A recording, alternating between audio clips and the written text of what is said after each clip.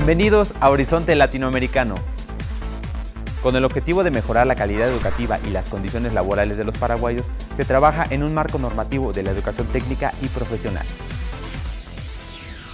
En Paraguay, autoridades de los diferentes ministerios, el director general de la Organización de Estados Iberoamericanos para la Educación, la Ciencia y la Cultura, OEI, y especialistas del programa Eurosocial se reunieron para estructurar un marco normativo que mejore la educación técnica y profesional ante las necesidades académicas y laborales actuales. Durante el encuentro, la ministra de Educación, Marta Lafuente, presentó una ponencia sobre la realidad actual de la educación ligada a las oportunidades laborales en la que resaltó que la transitoriedad de las ocupaciones es cada vez mayor a causa de la globalización.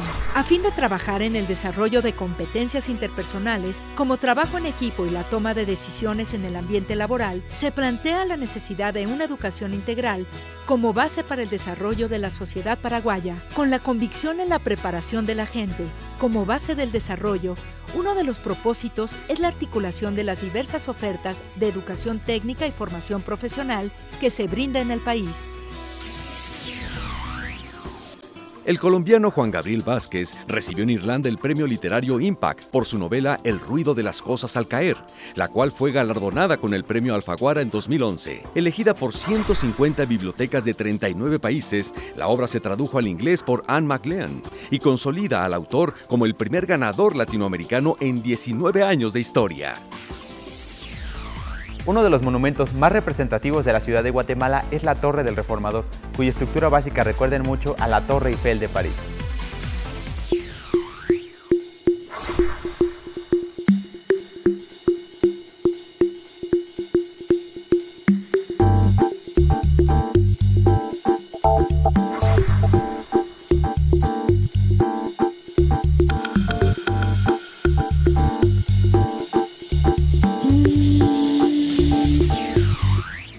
Olga Medrano, Carol José Gutiérrez y Antonio López son los tres jóvenes que dieron a México el primer lugar en la decimosexta Olimpiada Matemática de Centroamérica y el Caribe. Celebrada en Costa Rica, la justa contó con la participación de 35 estudiantes provenientes de 13 países de la región, de los cuales El Salvador ocupó la segunda posición.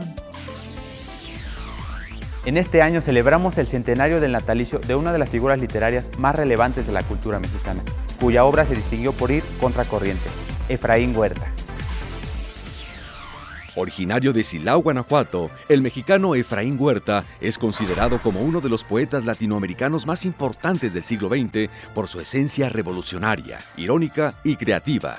Poeta del tiempo y del amor de la vida y la muerte, de la justicia y la rebeldía hacia lo impuesto.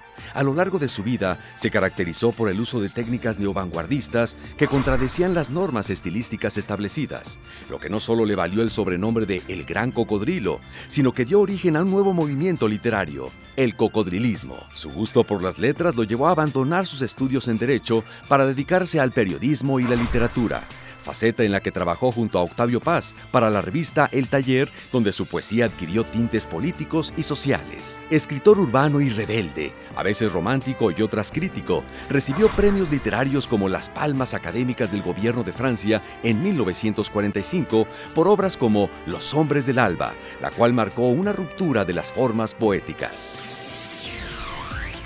El Instituto Latinoamericano de la Comunicación Educativa y la Universidad Pedagógica Nacional firmaron un convenio de colaboración donde se acordó la instalación de equipos de la red EduSat dentro de las sedes de esta universidad. La firma del convenio estuvo presidida por el licenciado Guillermo Kelly Salinas, director general del ILCE, y el doctor Tenoch Cedillo Ábalos, rector de la Universidad Pedagógica Nacional.